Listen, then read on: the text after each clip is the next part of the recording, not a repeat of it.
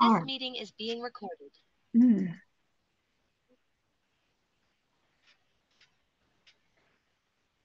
So we have different types of observation studies um, and experimental studies. Now I want to show you, I'd like you guys to read this, read through this for our next class. We'll talk some more about observational studies and experimental studies. Um, we'll come back to this. I just want you to read it because I don't think it's going to matter so much unless you you read it and think about it and watch those videos. Um, the four videos, units 15 to 18 that I linked in um, the platform, Moodle platform.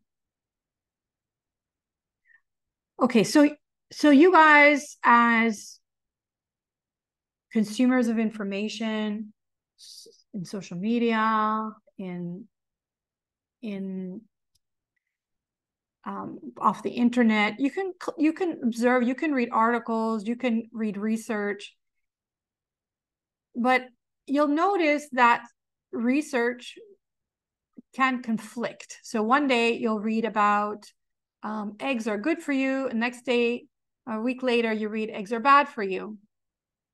What are you supposed to do with this problem? Does anybody know?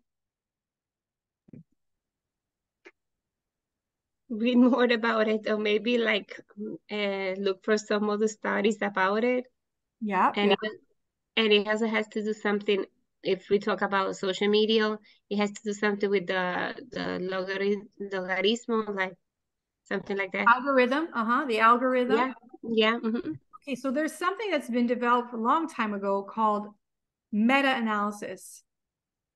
Meta-analysis is an analysis of analyses. It takes together all those projects and puts them combined. It combines all the results into one report. Okay, it's a scientific method. Meta-analysis is a scientific method that combines many research projects to be able to say, or publications, be able to say, eggs are good for you. all right, after all said and done, or eggs do not spike your cholesterol, or whatever it is that your outcome is of interest. So meta-analysis and systematic, okay, so systematic review is a literature review that's conducted that collects all relevant papers or articles. And then the meta-analysis is a scientific method of combining all the statistics. Can that apply to the uh, cigarette exper uh, situation that was on the video? That at the end, they they grouped together all the different research that was done on the effect of cigarettes on lung cancer. Yes, yes. I mean, I, I never read the meta-analysis, but yes, a meta-analysis is what you do. I think it was pretty easy in the cigarette case because they weren't conflicting results. they were all the same. But in, in cigarettes What- research and the effects of tobacco, it was the case that even though an experiment, what we would consider the a good data collection of an experiment on human beings, uh, it was prohibitively impossible to do it. But yet they were able to say that smoking causes lung cancer, even though an experiment was not done. So this is the so anyway, that's kind of I'll go back to that in a moment. Let me finish here and I'll go back because I want it, I want it, you, you're you're emphasizing a point I want to make. Um so so first a systematic review is done to collect all the relevant papers and then the meta-analysis statistical techniques are used to combine all those results into the conclusion. All right. So if you want to know about any topic, look for systematic reviews, look for meta-analysis, and that will be the best type of research to answer your your your question on um, research that you know conflicting research let's say okay so back to the idea of what is the link so i've described what's different between observational data and experimental data on uh, observational studies and experimental research how are they linked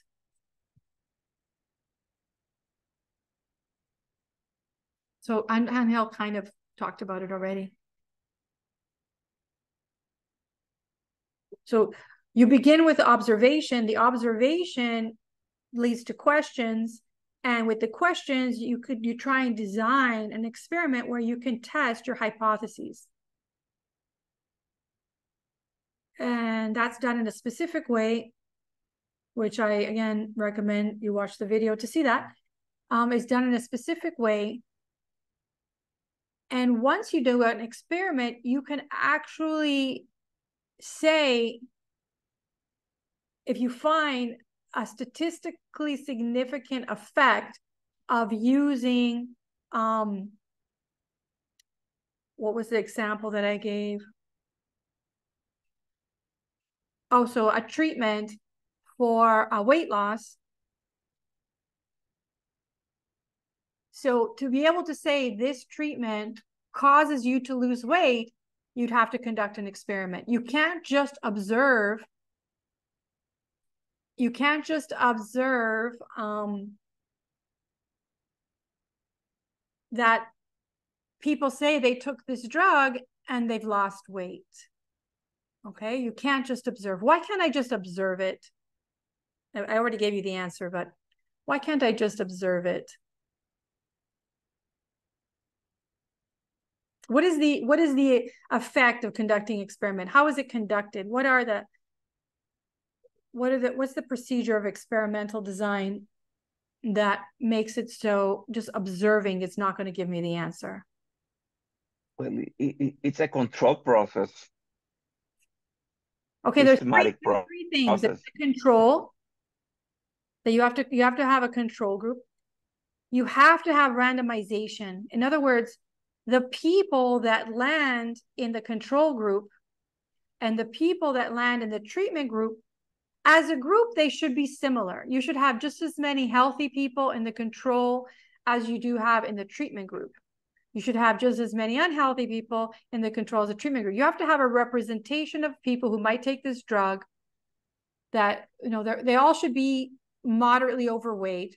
So you, you would screen them, but the you do not pick whether whether they go in the treatment or the control group. That is random. And that way you avoid a bias. Mm-hmm. Otherwise, what could happen? Let's say you can just pick which group you want to go in. What's the problem with that?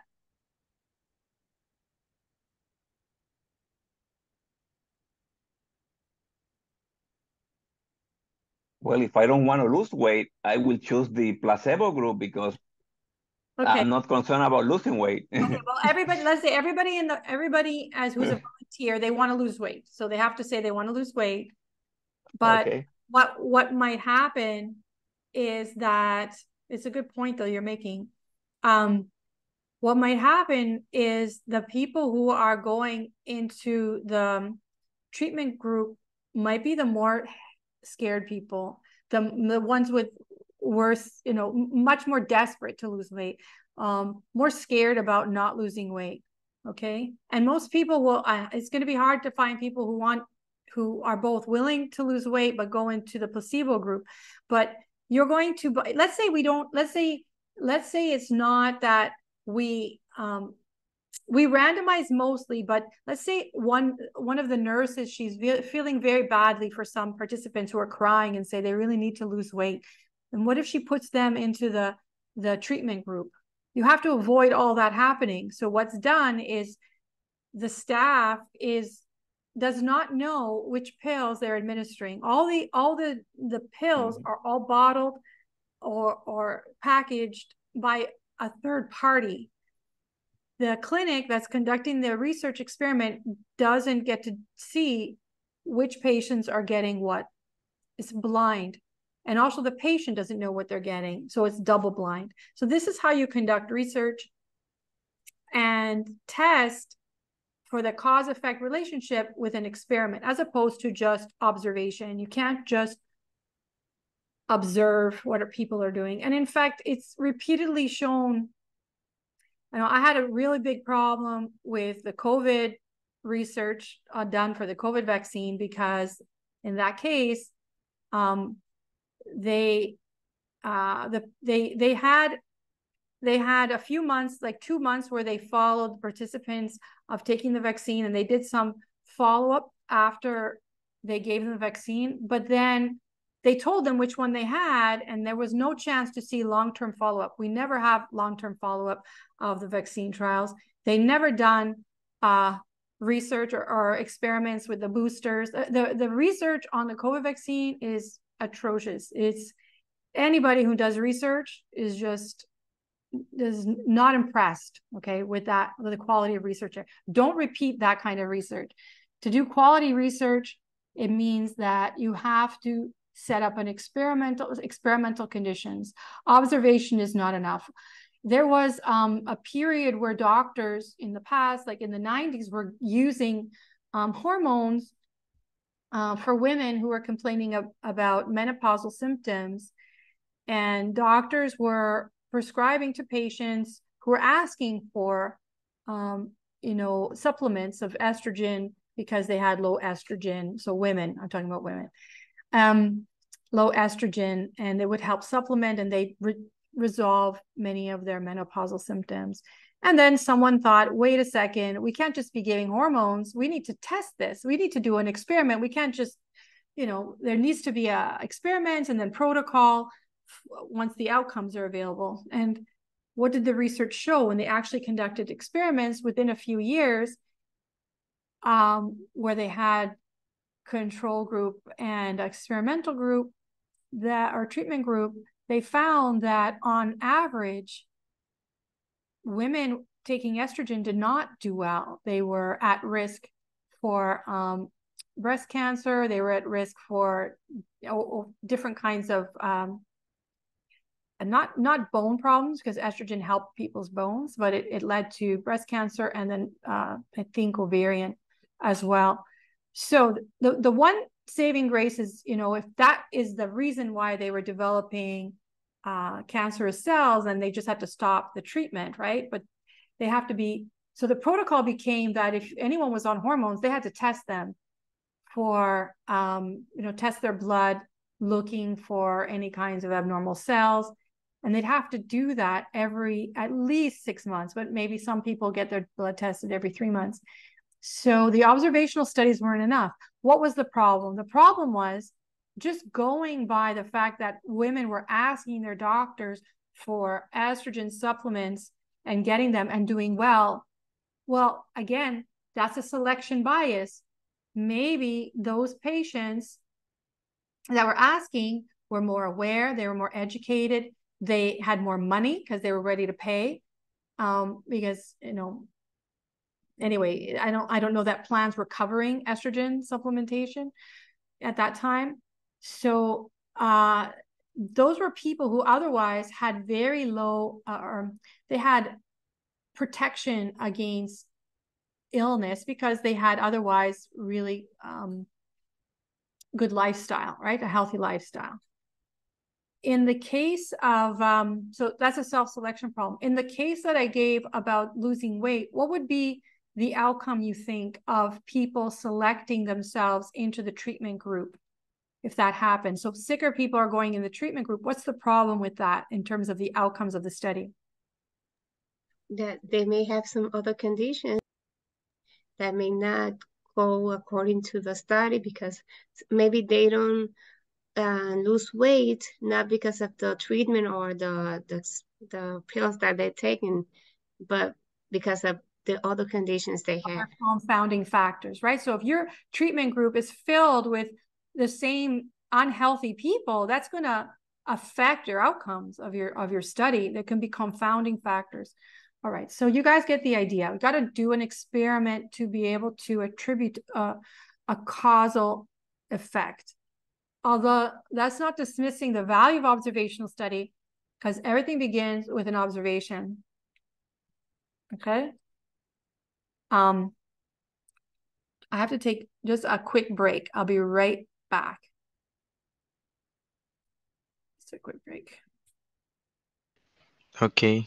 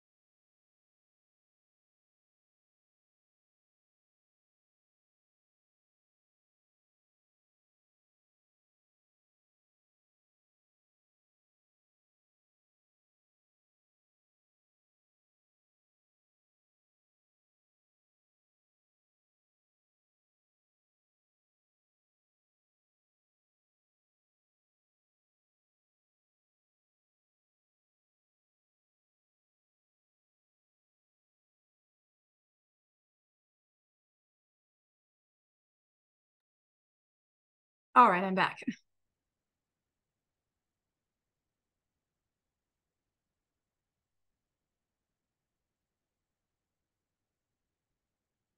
Okay, so read about those different kinds of studies. I've also mentioned here, uh, okay, so mixed methods. Mixed methods is a method of research that includes both um, qualitative and quantitative research. So you could do, for instance, um, grounded theory research to figure out how you're going to gather data, the right kinds of questions you need to ask to gather information on uh, subjects. So once you have that, then you can do the quantitative methods, all right? So that, that can be called mixed methods research. I've allowed you also, so quantitative or qualitative research, and I've also allowed you to do what's a literature review. A literature review as a paper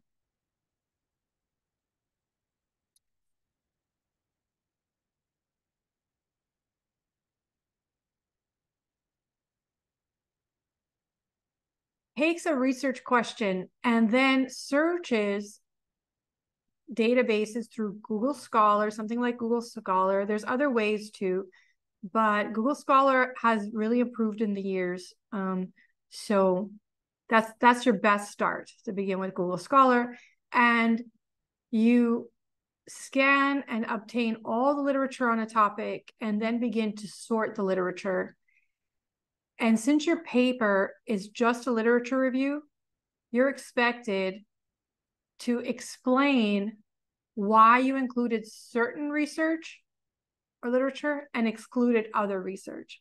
So you have to go, you have to, first of all, spend some time developing a search strategy. So, like we did last week, where you come up with keywords and you search them and you refine your search strategy, and then you with that search strategy, you collect all the papers you can and you go one through, know, one, go through them, go through their um, abstracts, read a little bit of their intro, read their methods and their conclusions, you skim through them and decide if you're going to keep them or not and begin to group them. We're going to talk about that today because literature review is required in any any um, research publication that you conduct but doing a paper as a literature review is something else.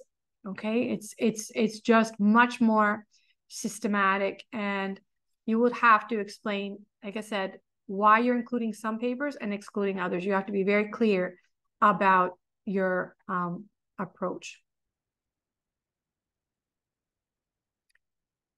All right. So today I have just some all pointers, pointers here. Okay, the goal is, so, um,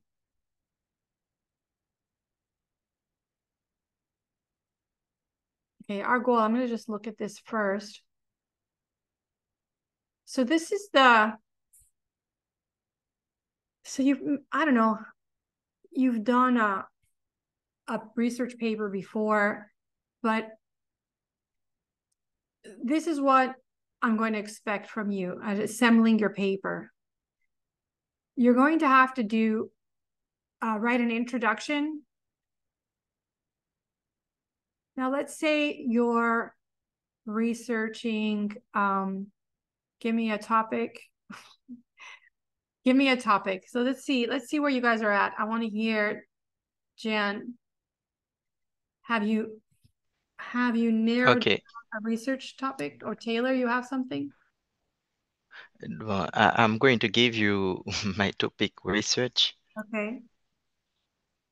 A international trade, potential catalysis for growth and development that can stagnate migration massive in the Caribbean region. I took a case of Puerto Rico. Can you write it in the can you write it in the chat? Okay. Okay.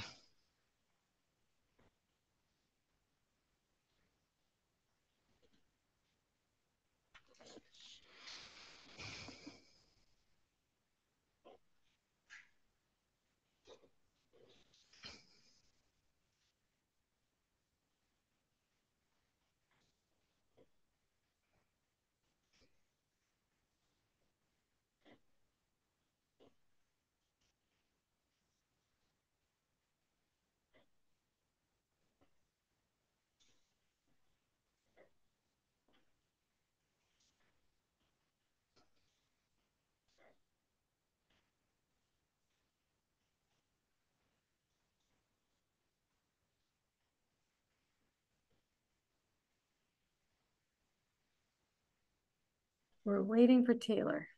Yeah.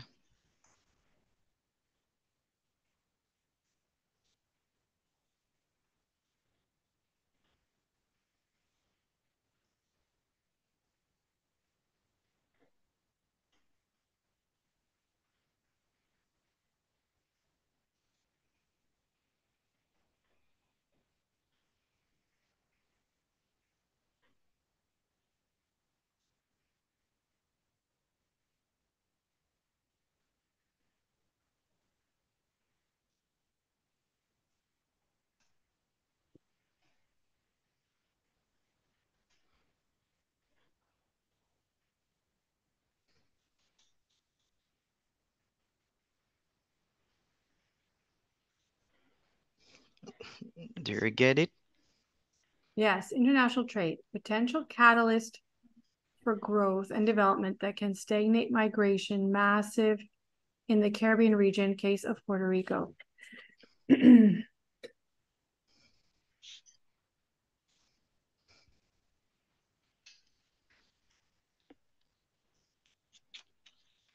so, okay, I need to understand what is you're saying that you're saying international trade can be a catalyst for growth and development, but you mean but, not that, right? But can stagnate migration in the Caribbean region. Okay. Is that what you mean? But Uh, uh, I, uh, I to think it, it's a good I mean catalyst for growth and development, but stagnating migration is a bad thing. Yeah, okay. Stagnant migration and the massive, I don't know where that word goes. Massive, Uh, massive migration so mass migration, because but can stagnate we mass ma migration in the Caribbean. So I'm gonna fix it for you. okay, thank you. Well, I mean, I'm trying. If I'm wrong, you can tell me. Potential catalyst for growth and Okay, development. okay. And we can we can work. So this is your research question.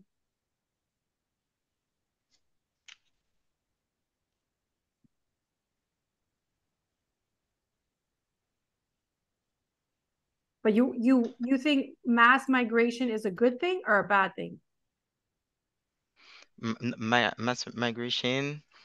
Eh, I, I, I, want I, I want to show all all Puerto Rican people, all Puerto Rican people leave Puerto Rico eh, to migrate in US. And that's that's I want to to to talk about my to write or talk about my my topic because immigration mass migration is a major challenge to many part of the world, particularly in the Caribbean region, where this time has become challenging. Okay, wait. I think the I, yeah, I I think the the ah, okay, you we're can you can talking talk. about the Puerto Rico people that are migrating out. Yes. Because this migration can result from various factors such as the lack of economic opportunity, political instability, or precarious living condition. Puerto Rico has now a U.S. territory located in the Caribbean region has also faced high levels of migration of its population to the mainland United States in search of a better life. But my starting question aims to explore the potential impact of international trade on the growth and development of Puerto Rico while taking into account its role in reducing and reducing mass migration. Okay. All right. All right. So, um,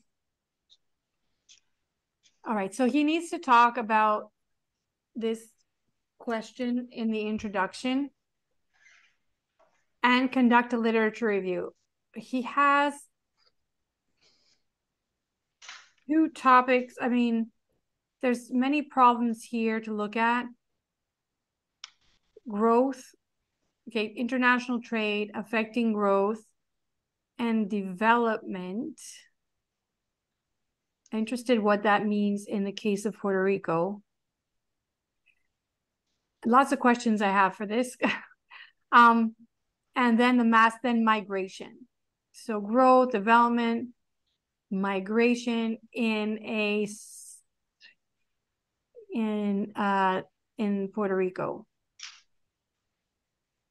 But it looks like you want to talk about the Caribbean as a whole, but the case of Puerto Rico in particular. So have you started to look for literature on that?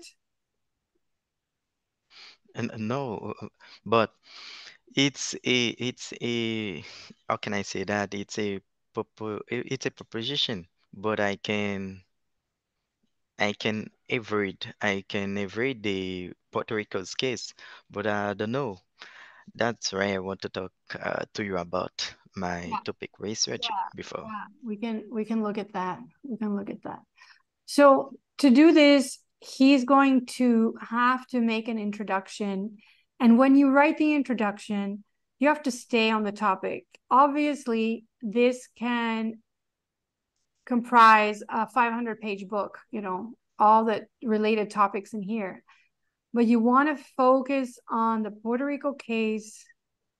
You want to focus, you want to focus as much as and refine your question as much as possible that you can provide an introduction in like three pages maximum. And I'm talking mm. about pages that uh, are, it could be single spaced, three pages. Then your literature review will help to provide the background in terms of the scholarship on this topic. And you're going to spend that time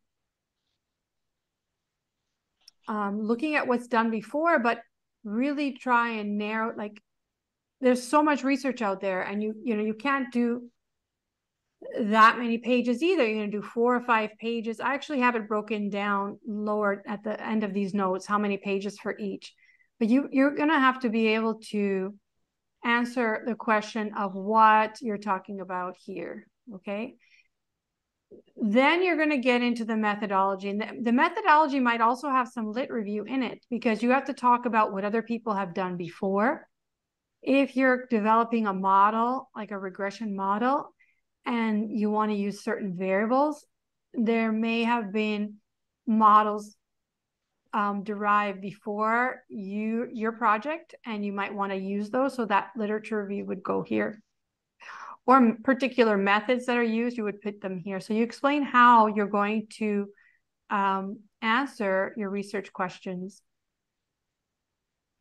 You're going to also talk about any data and how you collect the data here. So that is really important, all right? Data, getting your, your data to do any kind of inferential research. Um, after you've conducted your models or done your descriptive and inferential statistics or done your uh, qualitative research analysis, then you summarize your findings in your results. You just summarize the findings. You don't say too much about the why. Okay. Why uh, why you found what you found. What does it mean? This is the discussion section where you interpret the findings and you can speculate on the implications of your results. Here, you're going to again have a literature review. So you notice there's lit review throughout your paper. It's not just one section. So you have to, you could collect all your literature review and then decide where you're going to put it. Okay. Um, so lit review is very important. You might just repeat what you did right in the literature review and methodology, and you discuss it in your in your um, discussion section, but maybe expanding a little bit more and adding other literature to it. And then finally, you state a conclusion in a different way. You say the same thing, summarizing your summarizing your findings, your future research, and talking about um, contributions of your research. Generalize, you know, how you generalize your results, who can use your results, so this is your your attempt to conclude. So when you read someone's research, you're going to read um, well, I didn't write the abstract here, but you're going to read the abstract, which you'll see in the in Google Scholar. You you will read the introduction, maybe skim the literature, have a look at the methodology because in the methodology, what will you see there? That's important. You're going to see the data source. Where did they get their data? Who did they interview? How did they interview them? Or where did they find the data online? That's really interesting. And that's what you're going to look at the first time you read a paper. Okay. You're going to look at that. Um, you're going to also, you want to see the results, but probably if you're just skimming the paper at the beginning, you're just going to read the conclusion. So that's a first pass. That's how you, anyway, that's my recommendation just to get through. If you're a very good reader and a very fast reader, you read the whole thing. But usually we are all busy and we just need to skim to see if we're going to include this paper in our research. Oh, I put the abstract at the begin at the end. How funny. Mm-hmm. The abstract is at the beginning. I don't know why I put it there. What happened? But okay, it's there. I'll probably move it to the top. I don't know why it's there, honestly. So I will I will move it and update these notes. I'm going to put it at the top. All right, so what I want to do today is I'm going to leave you guys with this. You should read, read, read. There's all these tips on how to look at research.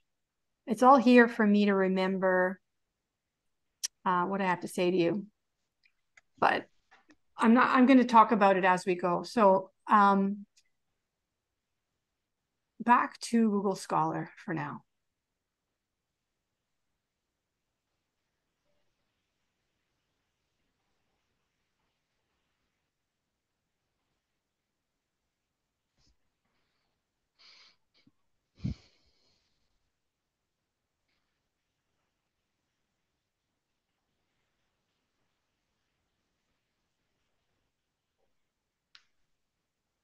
Okay. Okay, I want to hear Gene's topic. Oh, did Gene just leave? oh, I don't see him. He's here. I just don't see him. Sorry, I was getting water. It's okay. It's okay. Just when I called you. What's your topic? Or do you have a kind of a topic? Well, I was thinking about financial education, but um uh, for teens having a better understanding of uh, or knowing the basic of, of of finance before college. Okay, so what what what is your research question? Because that has been looked into, but what would be your research question? Uh, well, I think that my research question could be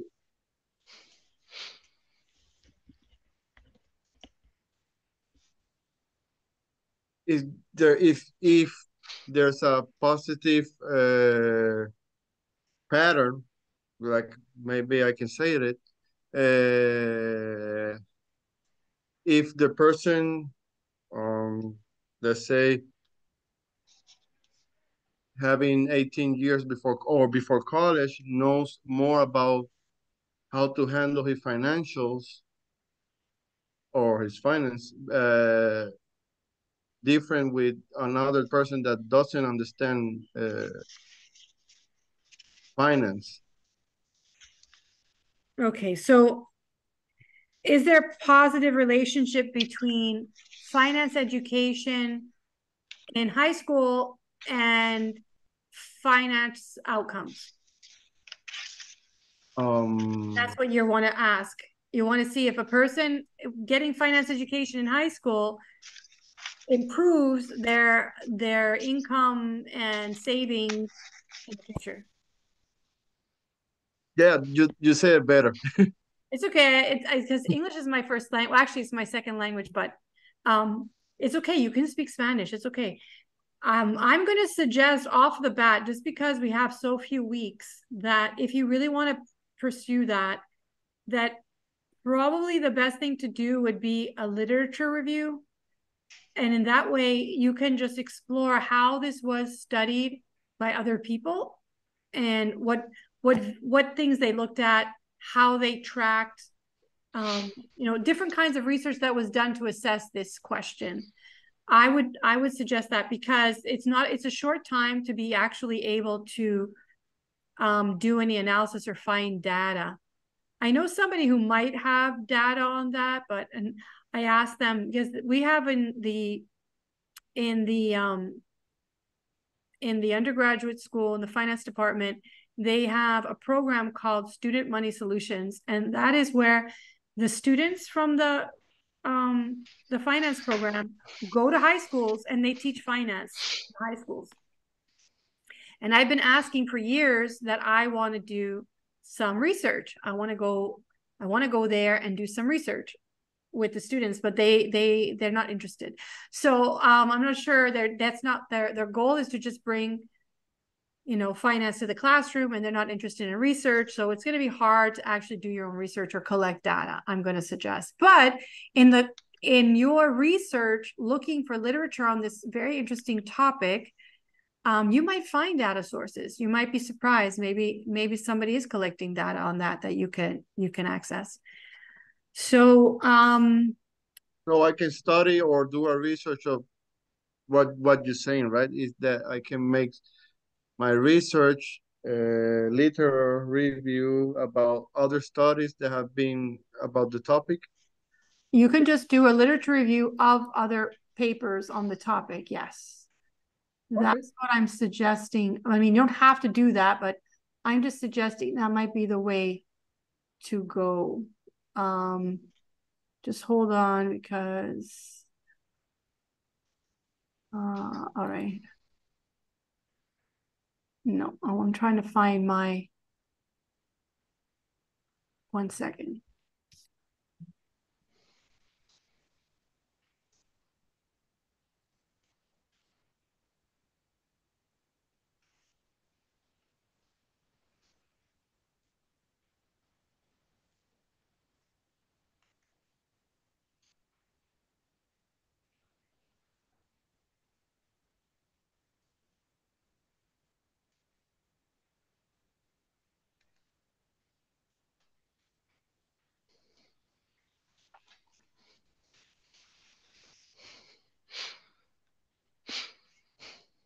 Sorry.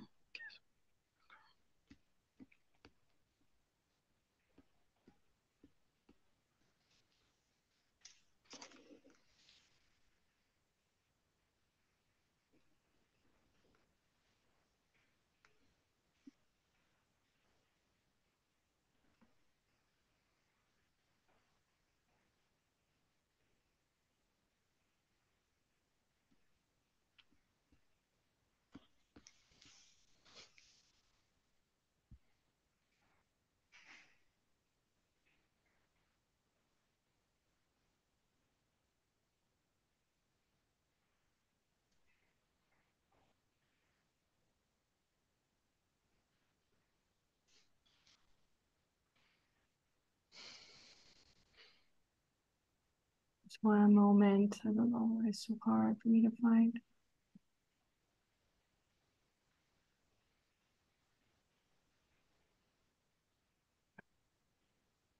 I I know.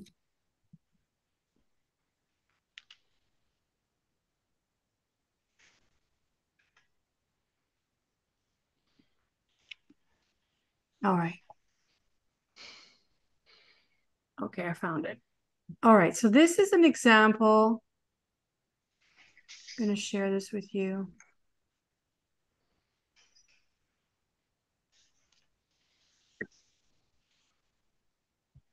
Okay, so this is an example of literature review that I had working with a professor, another professor, um, I created this literature review for him, uh, working with my my PAF, my teaching assistant. And what we did, the topic was um, looking at the question of why the CAFTA countries, so Central America, why is there an F? CAFTA? I can't remember what it stands for now. Central America Free Trade countries. So there's an agreement that there are no tariffs between certain countries in Central America. And um, the question is why over the last, it's almost since 2005, so it's almost 20 years, that they have not ever gone beyond creating um, t-shirts and simple cotton uh, clothes. Why haven't they improved in the value of their product? And so we're looking at what was called the value chain, the value chain of production in in clothing. And the database that the professor was using was uh, the I think it's the United Nations um, trade database. And there, using certain codes, you can get total value of trade between countries. So it's an excellent data source for trade of, of goods, international trade of goods. So um, these are uh, doing a literature review. Um, I can't remember my keywords at the moment, but usually I, I, I ask to keep a record of the keywords so I can repeat them. So we found all these papers on the topic, and I created these columns. Uh, this is like who was going to do the research reading of these papers because you have to read all these papers, the ones that you pick. Um, so we downloaded the paper, we filled this page, and author, title, year, and country of publication. Um, and what they looked at, so these were predictors or factors that influence quality innovation and moving movement up the value chain. So these were the factors they looked at turnover, employment and exports, gender, labor force, and power. Can you guys read? Is it too small? So every paper looked at something different. And this was excellent for the literature review that I write in the end. And I say um, how many papers talked about um, unemployment or employment issues. Like, look at them. A lot of them have em employment as a major factor. Um, and so this is a way that you can sort your data later, but you just put it into a big Excel spreadsheet. Keep track of the type of, of, of article that it is, if it's a journal or a book review, the methodology that they use. So this one was a literature review. This one was a survey using Institute statistical data and literature review. This one, I don't know, literature review about global factory. So I asked her to mention, I think this is an old file, but anyway, this is the methodology section. Then it had she had to mention uh, what empirical analysis was done, the years of the study, that where the data was from. So this was really important because if we want to replicate this or do something similar, it's really important to know the source of the data. I don't know why this is all whited out, but um,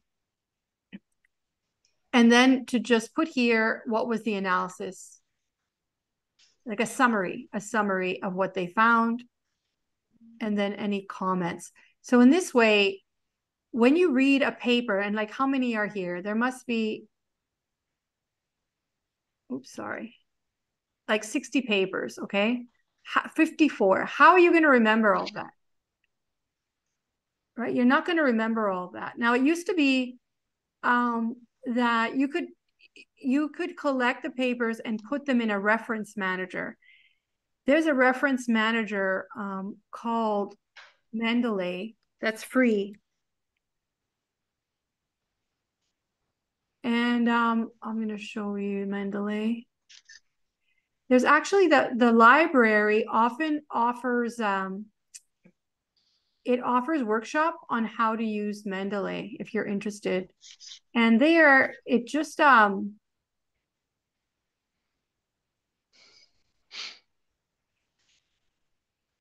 this is uh so you you make a free account and you download the software and in the software that's where you you can download articles to the software and it creates uh, a database of all the articles that you're interested in so that's very useful if you're going to pursue a topic for four five six years or if that's going to be your main area of research to have all the articles in one place and this is very popular before databases became um, easily accessible online.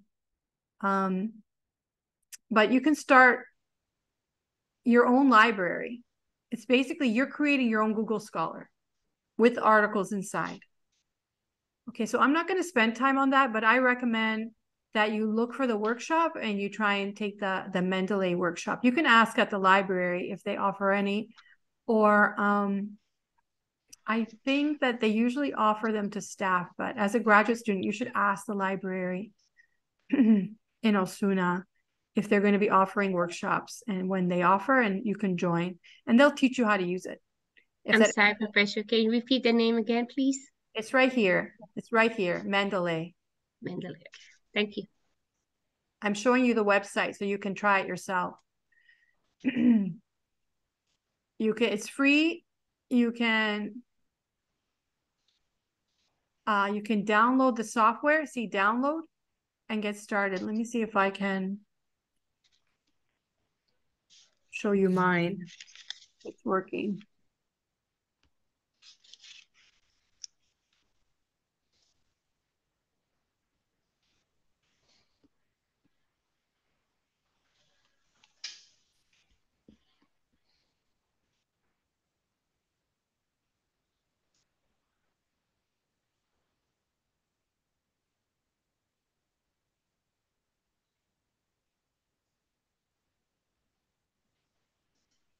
Oh, it wants me to log in. Hmm.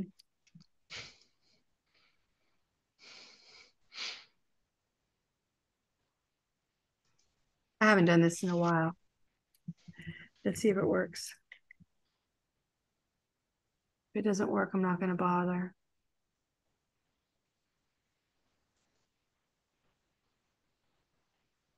Give me a second.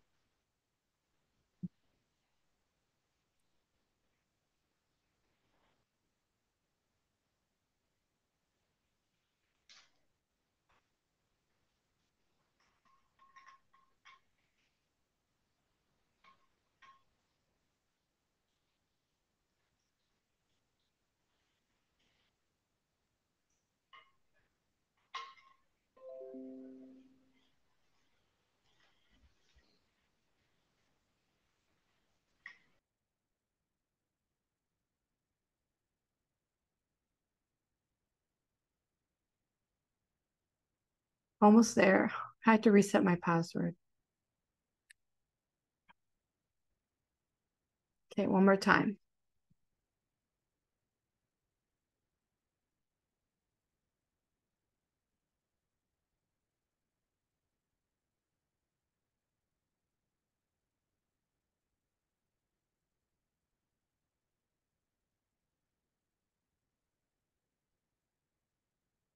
All right, so this is my Mendeley. This is it here. And it just shows all the articles in my library. I, I have my own articles in my library. It's what I have. Um, and then I think I have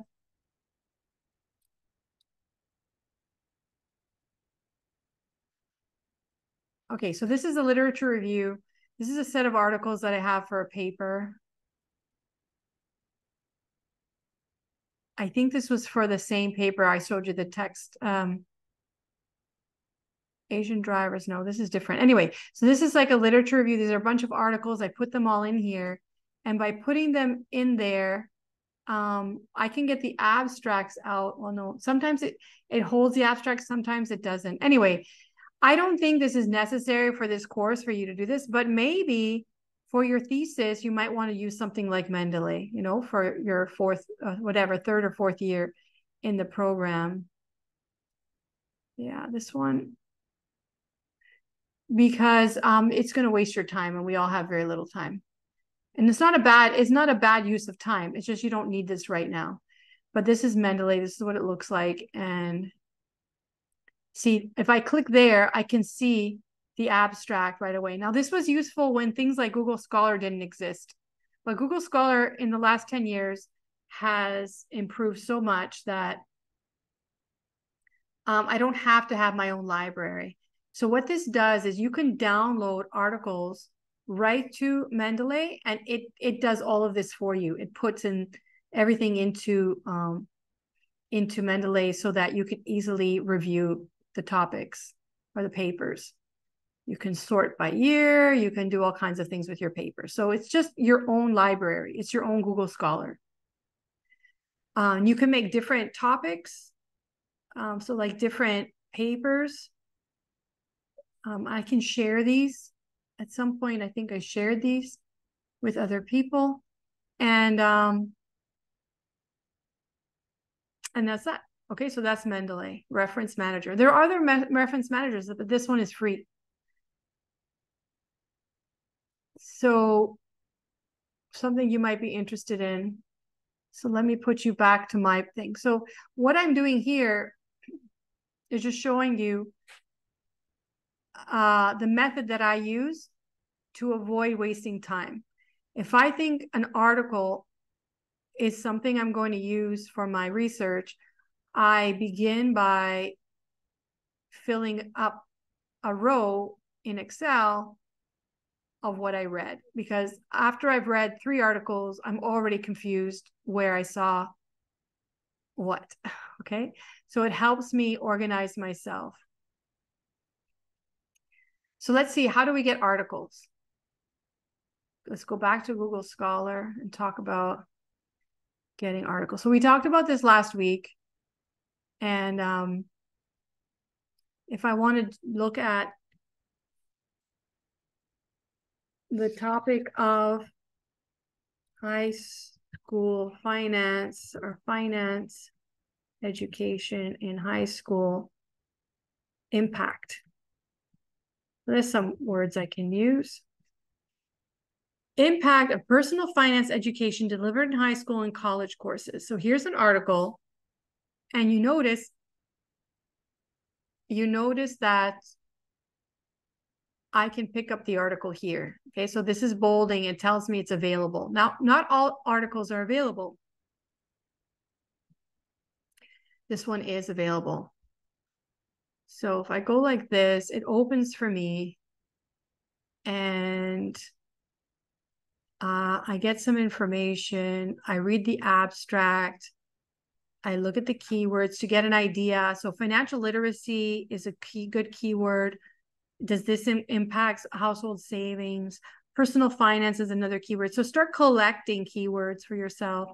And i would recommend that in this in the spreadsheet that i explained to you that you put a column a column. So i want you to do this for next week. This is what i'm getting at okay? So for next week you're going to do this. You're going to make your excel file you're going to submit it to me so i can have a look a little closer look at it and you can keep track of the keywords you use to find the article. So you can make a column. So what I can do is I can send you, I don't know, you can make your own because this is, you know, you can make your own spreadsheet. But if you want, I can send you these headings. Do you guys want that? I can send you these headings. But yes. Yeah, yes, yes, it's interesting. Yes, yours, thank will, you. yours will be different, possibly, but that's the idea. Yes, please. Professor. factors. Okay, so I can send that to you. I put it on the. I'm gonna put it on uh, the uh, the platform. Okay. Okay, thank you. Yeah. So the keywords I used to get this article going back. Oh, I got to go all the way back. What did I say? I said uh, finance. No, I said finance education. No, I said high school. No, I said finance education, high school impact. Right. Uh, keywords, uh, yes. That's what I said. So you high school impact, yes. Yeah. So just keep those just, you know, and then consider adding new ones, compare like so you're building, you're you're not we have to cope with the fact that we are not robots, right? We're not going to remember everything precisely. So we have to develop these, work with our tools. Humans are very good at developing tools. So let's say I, I'm going to make that keyword and the tool. So I'm going to read this. This study investigates the impact of personal finance education delivered. Oh, I'm going to go back to the page. Sorry. Back to the article. This study investigates the impact of personal finance education delivered in high school and college. Outcomes of interest were investment knowledge and household savings rates measured years after. Look at that. So obviously you can't do this study. you can't do this study for this course, right? Because they, they followed people for years after the financial education was delivered. But we could we could certainly do this on a long-term basis. Like if you started now, Jan, you could by three years, you could analyze this data. If you wanted to do this for your thesis, let's say, right? Um, uh, outcomes of interest were investment knowledge and household savings rates measured years after the financial education was delivered. A web-based survey with questions about participation in financial education, financial experience, income and inheritances, and demographic characteristics was administered to 1,039 alumni from a large Midwestern university. Participation in a college level personal finance course was associated with higher levels of investment knowledge. Experience with financial instruments appeared to explain more of the variance. So, um, so financial instruments. So that would be financial instruments would mean like bonds and stocks and and um, GICs, like financial instruments appears to explain more of the variance in both investment knowledge and savings rates. No significant relationship between taking a high school course in investment knowledge was found. So it didn't influence investment, but it did help with savings.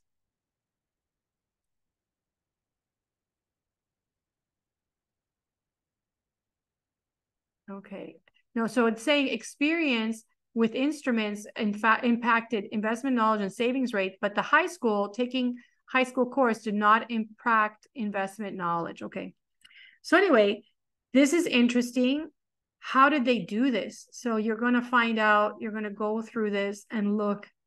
So look at all the research they have in the introduction. They have a bunch of literature here. You can find the articles going back. If I click here, it'll go down to the the the reference. Notice how few references they have, not a lot. It's not a lot of references. So you want to be, you, you don't want to make a huge bibliography. You want to pick the most relevant references possible. But this is not a literature review. This is a paper. This is a, this is in Journal of Family Economics Issues. We can, we can also put a column here. We can add a column for quality of the journal. Again, for journal quality. And again, I don't think that lower quality journals mean a bad paper necessarily. It's just, it, it could be a good paper in a lower quality journal. There's different motivations for picking journals. All right. Some some academics just need a publication once every three years. So they might have just tried to get that publication quickly and they put it in a lower quality journal because the process is quicker. So you, you don't know that uh, a good a good article could be hidden in a lower quality journal. So you want to read for introduction. I said, so look, the introduction is one page. The literature review is perfect. So if you were to do a literature review, you would start here and look at what they had for literature review, and you would collect all these papers to further read. So there's one, two, two pages of literature review. So this is a very thin article.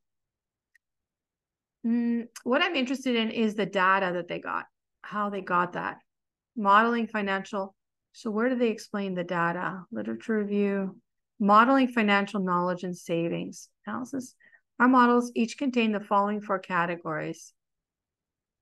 Financial education. They go right into the model. I don't know. Where's the data? Okay, study design. So here's the study design. 46 questions, web-based survey. Survey was similar to that of, so they copied the survey by Burnham and Al. and they measured past financial experience, current financial experience, income savings, demographic characteristics. So this was a self-report study. So people were just telling them about past experience and current financial experience. I guess they had to tell them if they took um, high school um, finance courses. So this is not even a longitudinal study. This is not a study where they met a bunch of high school students they knew what they learned in high school and then followed them into the future.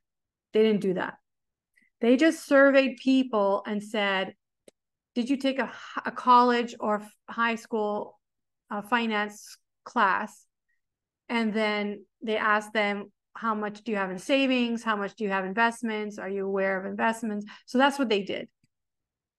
So in here, you would put the title sorry, back into our spreadsheet, you gather that information just quickly, not to waste time.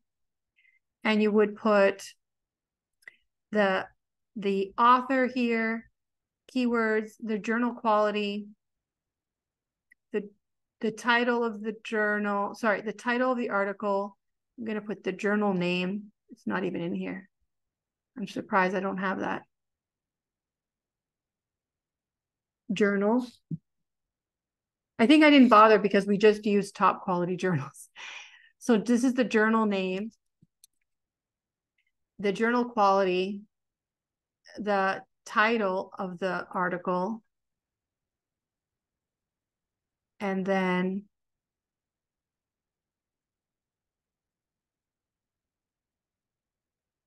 let me open this.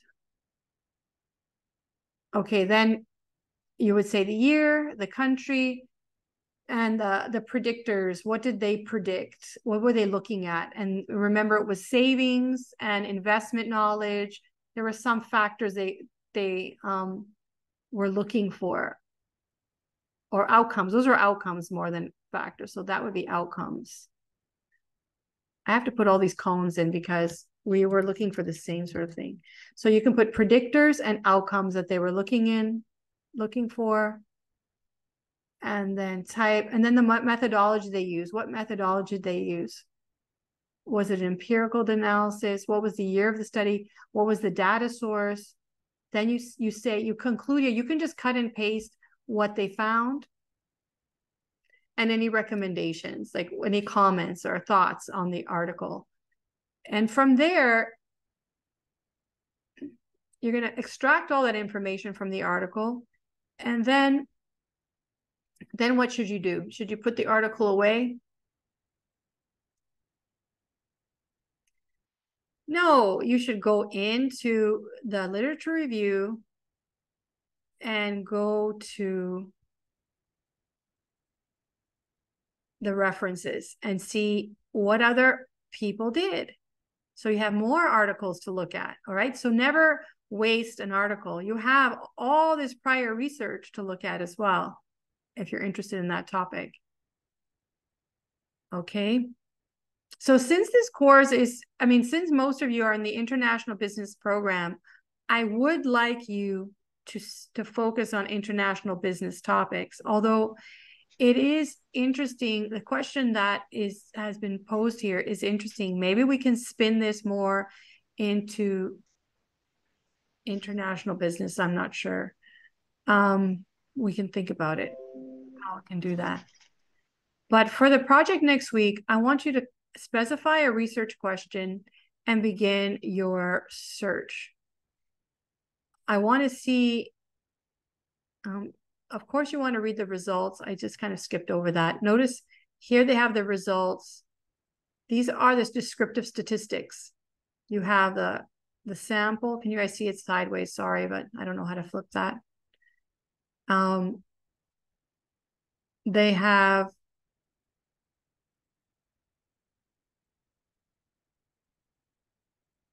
the average investment. So these are just descriptive statistics for all of the variables. And then they did some sort of regressions here. These are regressions that they did trying to predict their these are the variables they use for independent variables to predict investment knowledge.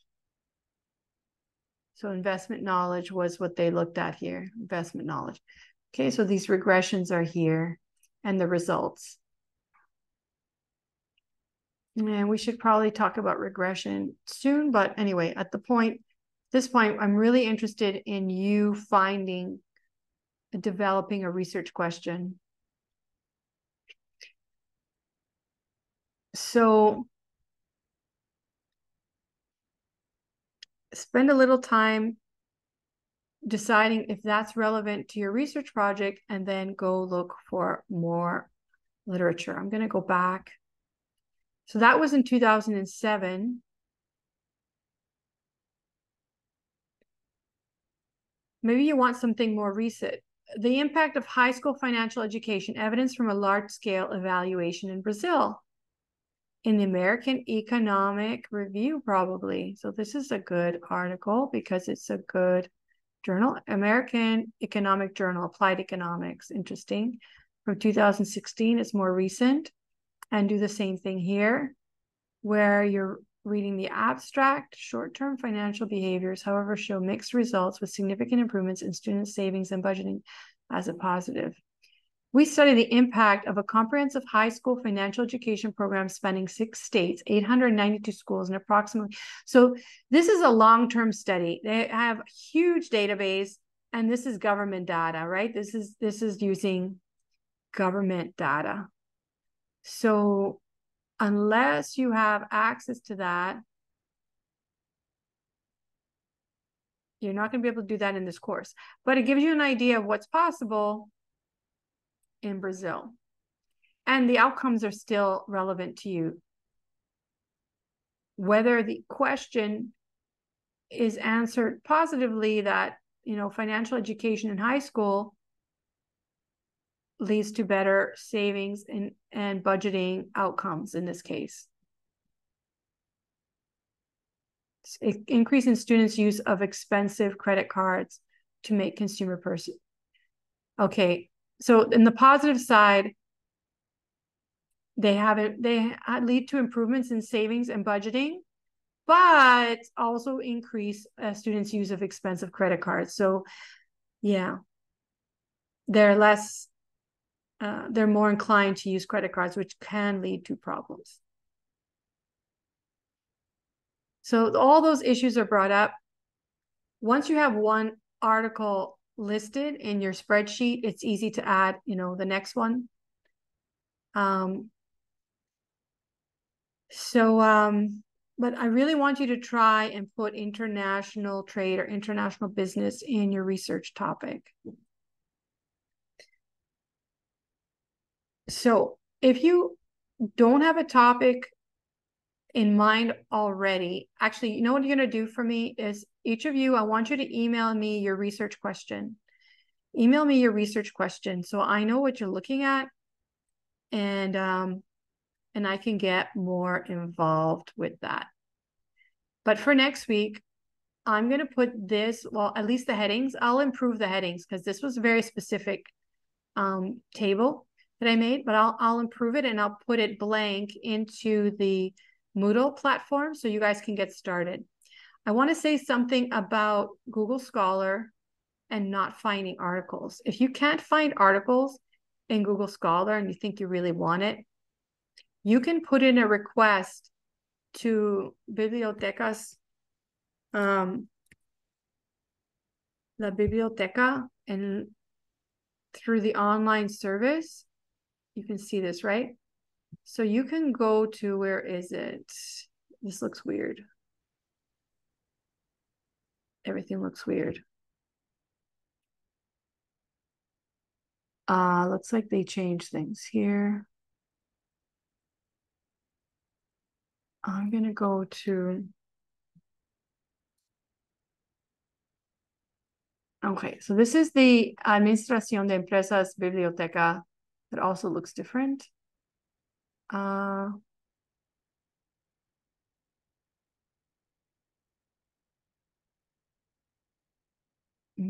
everything looks weird.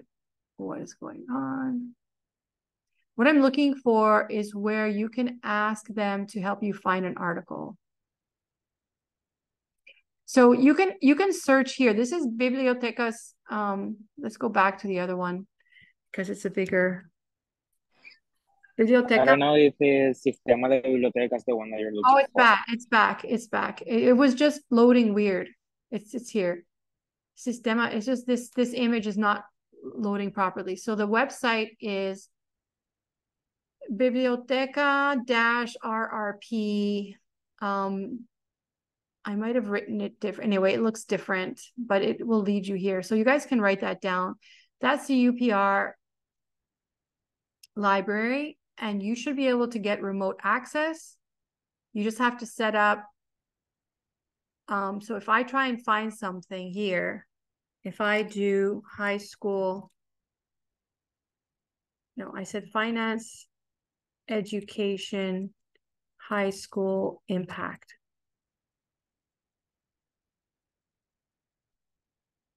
It's loading. So it brings me here and it shows me an article. Everything looks different, but okay. So let's say I want to get this article.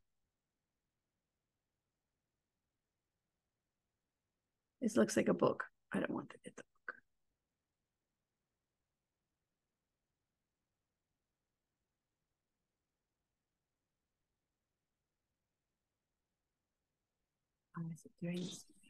Base de datos. They change things. So I'm going to the base de datos. Wow, did they ever change stuff? Okay, so these are different databases. Uh, they they used to be. You watching? These databases used to be linked. I don't know if they unlinked them. This happened last year, but okay. If I put this in here, what's going to happen? Uh, finance, education, high school, impact.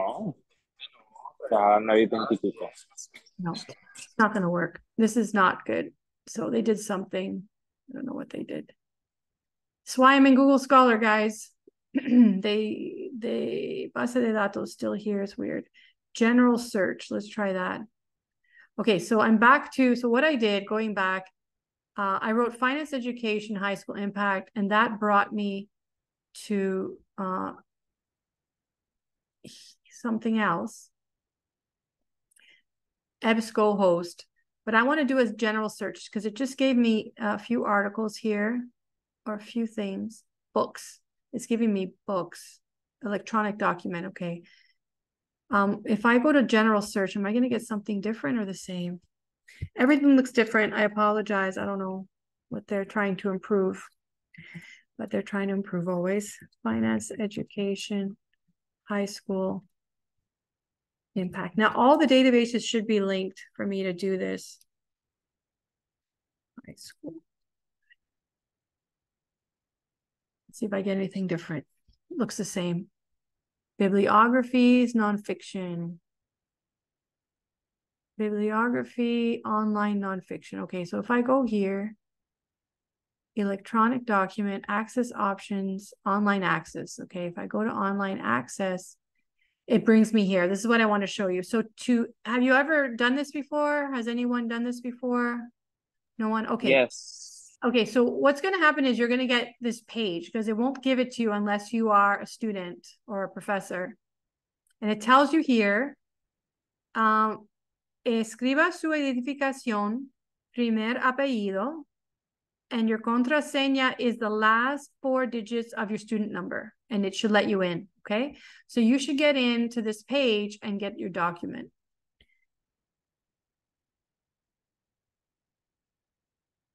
if it's available. So here it is, and I can get it. Okay, so you need both Google Scholar and the UPR system to get articles because they're not all going to be in Google Scholar. I, for me, it's not an excuse if you cannot find an article and you exclude it from your study if it's a main article. You need to find it. You need to get it. You, that's part of your research is tracking down articles. You can download the whole book here. You can download a chapter in PDF, apparently. Um, you can read it online. This is quite good. This is ProQuest eBook Central. So those are the options. You see, download section by section. That's pretty good. Um, all right, the other thing I want to show you before we go is if you can't find something, you can ask them to get it for you. Now I have to figure out where they put that. Hello, researcher. All right, there's something that's it's intercambio bibliotecaria. You can borrow from other libraries and they will do the work. The the librarian will do the work for you to find the article. I don't know where it went. It used to be here, very easy to find, but there's a link.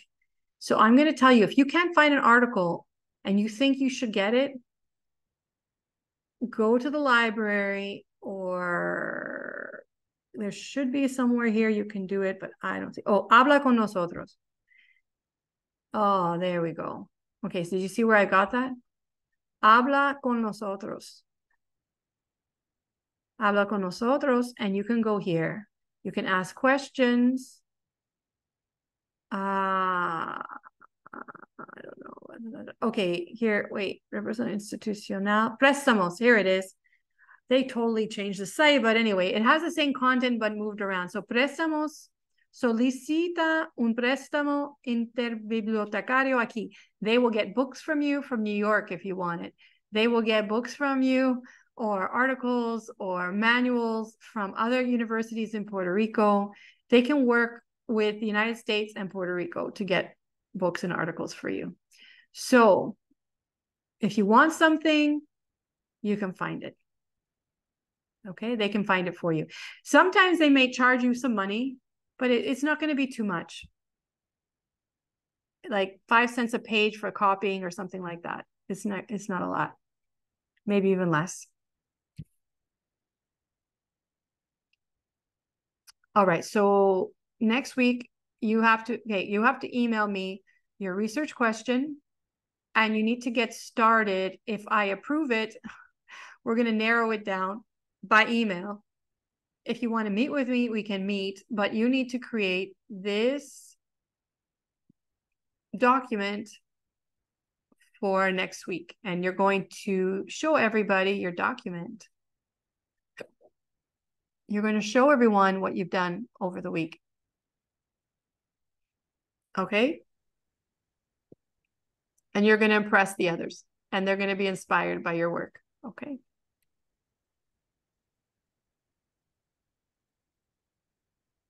and that's it that's for next week just data i want at least at least 10 articles minimum 10 articles minimum. Huh Thank you. minimum 10 it doesn't have to be 60 no not for 10 okay and to make the time worth it let's get your research question clear um, so you don't waste time. So everybody, that's so that's your project for this for tonight. Email me or tomorrow. Email me your research question. You're going to download this. Watch those videos, the four videos that I linked on Yeah. the Moodle page. And um and that's it. We'll start working on the Google search, on the search. Okay. Right? Thank you. Okay, so have a good night. Any questions for me? Um, yes, I have a question. Professor, I just, uh, I'm sorry. It's Go okay. ahead. Go ahead. Okay, thank you. Go ahead, Uh, Maria. Thank you. Uh, do you have to confirm that the topic that we choose before we do the research? I think I should confirm it, then I can't have complaints. I won't complain. Otherwise, I could complain and say you can't do that, and then you're stuck. So yes, let me confirm, confirm with me your topic. okay, thank you. Okay. Professor, I, I have a question which you already like kind of addressed it, but I just want to make sure. Uh, my question was if we have for this specific course, if we have to do the research on something related to international commerce, because that's what our PhD is about, or if we can select any other topic. I just want to make sure. Uh, I would like it to be in international commerce, just so you can get Okay. You can get started. We don't waste time. You know, you're already developing your topics. But if you have your heart set on something to do, you can convince me. Okay. But uh let's try let's try and focus on international business. Um we can be creative. Because I was I was wondering if you have like I don't know like a sample of subjects on international commerce that you think deserve analysis or that you recommend or I mean, honestly I, I haven't selected my I can- topic yet because I'm I'm kind of I can confused. you- I I really like I really like travel. I really think travel is very interesting. And I had one student last year working with the topic of um what is it called? Uh I can't think of the word now. But like sustainable tourism, sustainable tourism. And the idea of people traveling and and rather than affecting and changing the environment that they're trying to they're spending money to go see to actually immerse themselves so studying how people uh how companies or even in puerto rico how puerto rico um how puerto rico companies encourage sustainable tourism or if they do or if they don't or if they're ready to. Like and i and i asked him to start doing surveys and things but he did it he did a nice project but he anyway it was it was a good topic. I think it's a really good topic. So for me international because you want to do something that's international but related to puerto rico right? So that's a topic i like. Mhm. um and then um what other topics did people have we talked about uh, that you know people are talking about development topics. Um i really like the also the topic of of uh of um what's called ESG right now. ESG environment social governance and how that's impacting well in finance it's a big deal. I don't know if you're interested on hell in finance. Yes you're from finance right? Mhm, Yeah. I have so many interesting ideas for for projects in finance. We should probably just meet on Hell and I can show you my different ideas and see if Yeah, I would like like I mean maybe some bullets on topics that yeah, I have a bullet be- sheet. I I wasn't um I can send you guys my bulleted um topics. One is ESG, um the other one is sustainable tourism and I have some some background, you know, videos and things you can watch for that topic. And uh what's the other topic I like? I I like um I like the topic of crypto education, more specifically than just finance education, like crypto education. Uh, like c- cryptocurrency and education and how how you teach that. I don't know how to integrate that so much because in finance, you know, they take certain topics in finance and finance education. I swear it hasn't changed in 20 years because I've been doing it and it hasn't changed. But it seems like it needs to change. But how do you Mhm. how do you adapt education to um, trends? That's a really interesting topic for me. How how do you adapt education? So so if you think of different disciplines that have to work with trends, um, and h- how do they teach? How do they teach for the trends? If it's a constantly evolving field, can there really be education in it? So I don't know. I, I find that a really interesting area. Like if, I always thought about computer science. I never studied computer science, but it always troubled me. Like if you study computer science, your your degree is basically obsolete in four years, right? Isn't it? Like how, how do they how do they build a computer science program at university that's going to be relevant when you're graduating because everything changes so fast. So i don't they must they must have figured Mhm. it out. I don't know i'm not from computer science but they must have figured it out. So in that way finance should be able to do the same thing to integrate uh, financial innovation into the programs but first second third year i don't there's not much there's nowhere to put it. I've I've never I've never seen like there maybe there's one or two courses in in current trends or topics in finance, and that doesn't seem like good preparation. And now with cryptocurrency out there, people are just learning off the fly and burning money. I, th- I think that's what's happening. And the vultures are taking advantage of that. So so I think that's an interesting you know, Mm-hmm. education of, of not just crypto, but crypto as an example of how, how you how you conduct education in, in a constantly changing a technological world. How, how do you devise education to do that? What what what's what kind of framework is there for even doing that? What are the minimum requirements, sufficient requirements for a course or a program to do that? Um, so that's like education, international business other international business things. Um, let me see. I'm going to see my list. Excuse me. Mhm. Um, uh, what about digital money? Well, digital money is like uh, crypto. Crypto, yeah, that's what I'm talking about. Okay. Yeah. I was looking for it uh, for other topics, so uh, I'm gonna keep searching. I'm gonna send you my question later on. Okay. I'm going to see my list that I had used last year. I sent it. I think those were my main things that I liked. Anybody else have ideas of interest? Like I imagine, you know, you guys, I don't want to force you to take a topic. Um, that's why I'm leaving it open because people might have their own ideas. But but if you want me, I have tons of ideas. In terms of ESG, um, I could even get data. I've gotten data from from Bloomberg for that to look at that.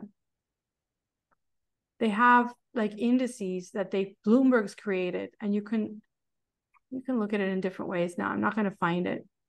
I'm not finding what I want. Somebody's in the chat. Let's see the chat.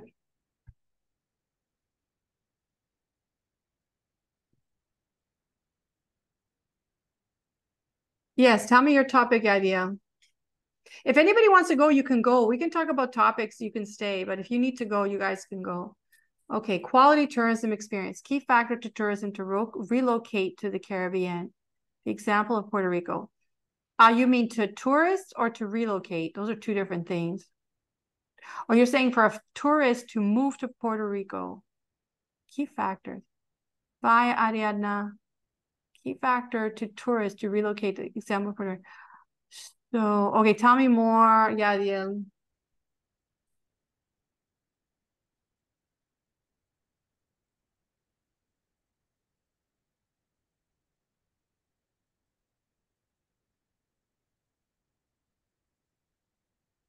all right it was called sustainable community-based tourism That was the, and that was motivated by a documentary I saw that was called, um,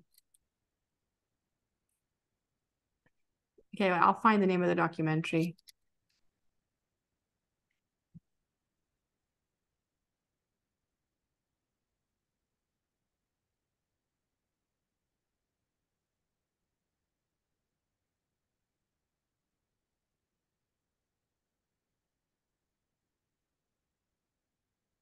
There's a lot of documentaries on it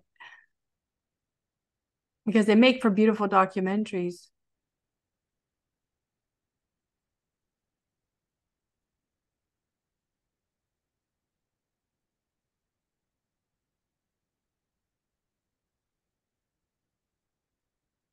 No, those are not it.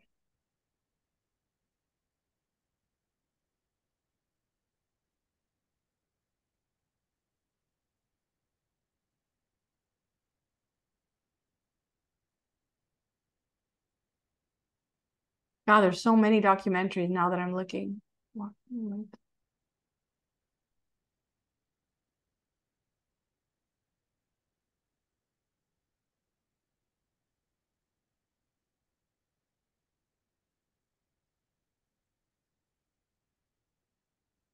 Jeez. I'll have to I'll have to go back and see tourism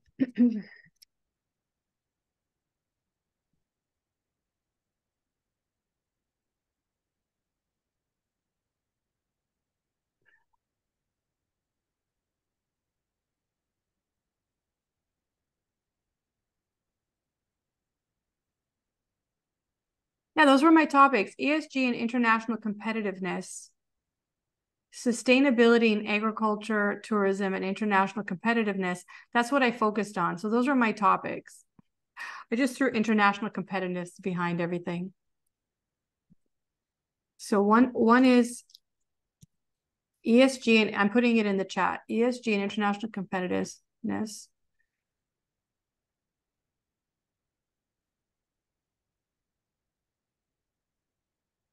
What about medical tourism? Okay, sustainability in agriculture, tourism, and international competitiveness. Medical tourism is another another one.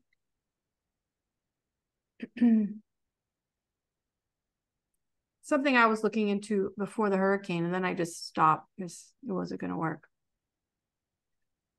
It was a bad time.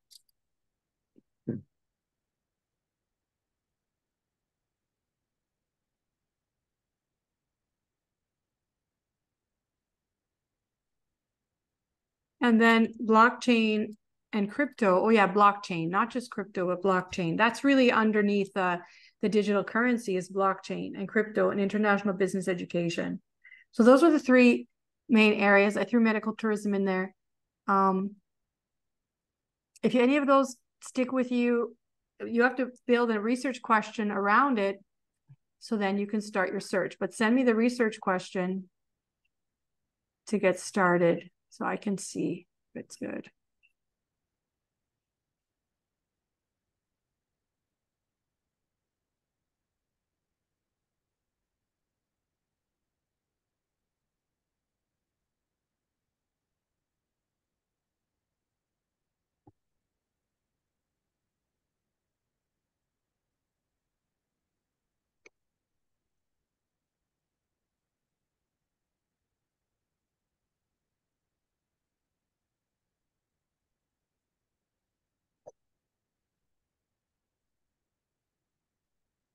I mean, ecotourism is something there. It's very interesting when you start looking into the topic. There's different kinds of sustainable travel, but the idea of of people coming to see an area and not converting it back to where they came from like what is the point of that you want to go somewhere and and know the people in the place you don't want to change it to me to be the place you left and that seems to be what's happening. The documentary makes it look really bad. The Last Tourist, that's it.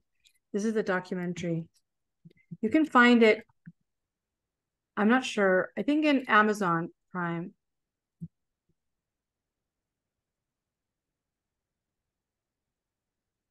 Very uh, moving documentary.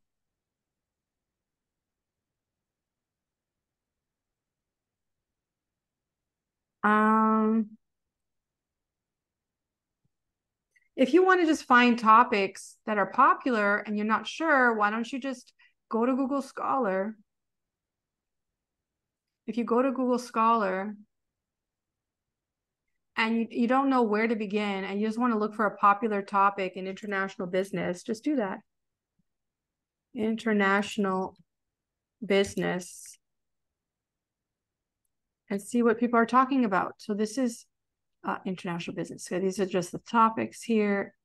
Semi-globalization and international business. What is that? I don't know. Let's look it up. You see, environment and operations, strategy management and new realities. Start reading. Start reading. What are the topics? If you guys going to do an international business degree, modern global economy,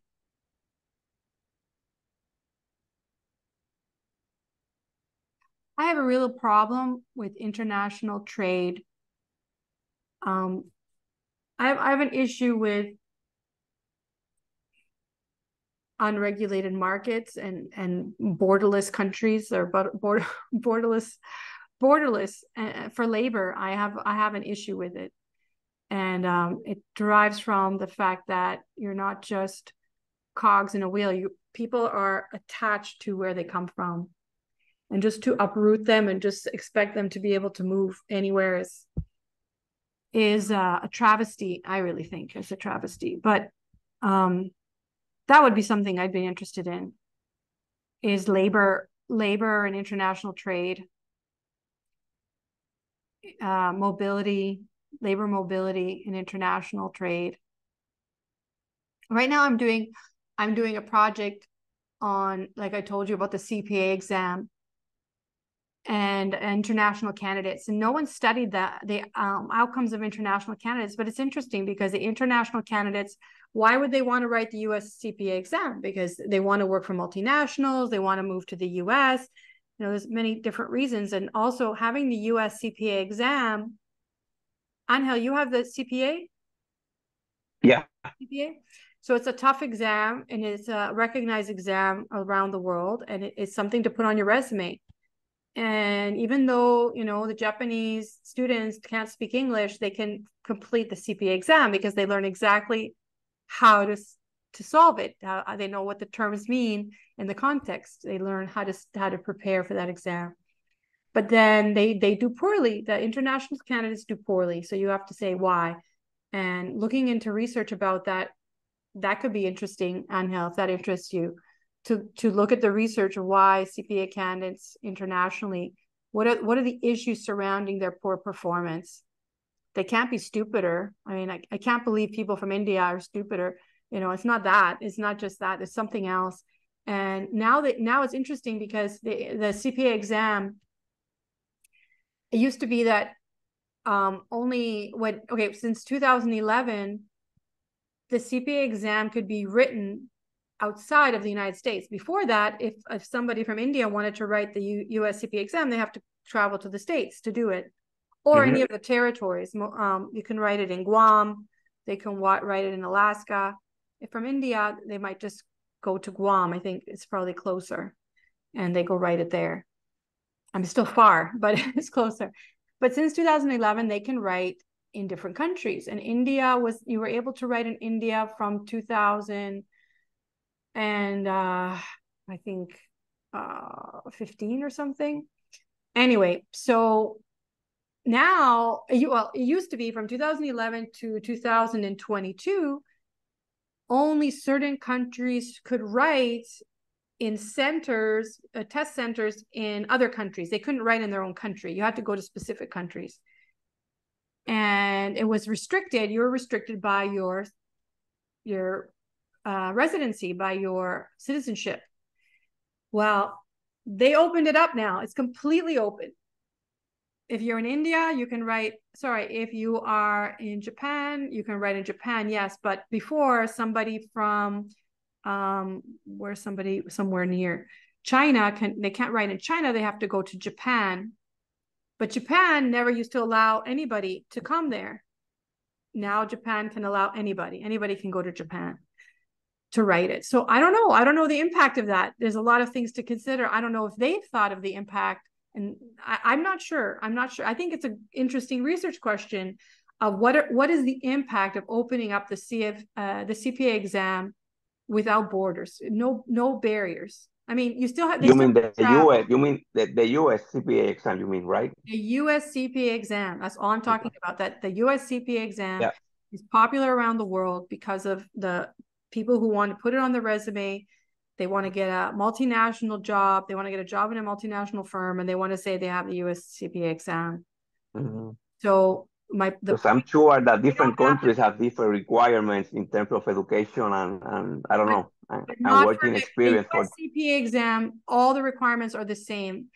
Depending on so everybody writing the USCPA exam has to indicate which jurisdiction of the states they want the license so there are 50, 53 states they can license in, and they got to pick. So somebody from India, they have to pick. That's another question. Where do they pick? Where do the international candidates go? So that that's what the research is about. Anyway, maybe it interests you, Angel, to look at that. And um, we, we're writing, we're finishing a paper on that topic right now about the international candidates, where they write, how they perform, and we we're limited in the answers that we can provide because we're just using some some data. Oh i wanted to show you something else. I'll show the other group later too. If you want data if you want data like i really want you guys to focus looking for how you're going to you know the research question and what's going to be your data source. And you're going to get that from looking at where other people are finding their data source and what kind of research questions they're answering with what kind of data. If you want information or you want to create a database for yourself, you can use uh, like a historical database for yourself. You can use the Wayback Machine. Does anybody know what the Wayback Machine is? No. No one? Mm-mm. The Wayback Machine, I've heard about it. I always heard about it, but it's very interesting. It's very slow, but uh, let me show you the way. If you guys want, unless you guys got to go, I can show you next class because then everybody can see it. Um, I'm going to stop the recording right now so we can just talk about your topics. I'll show you the next the Wayback Machine next time.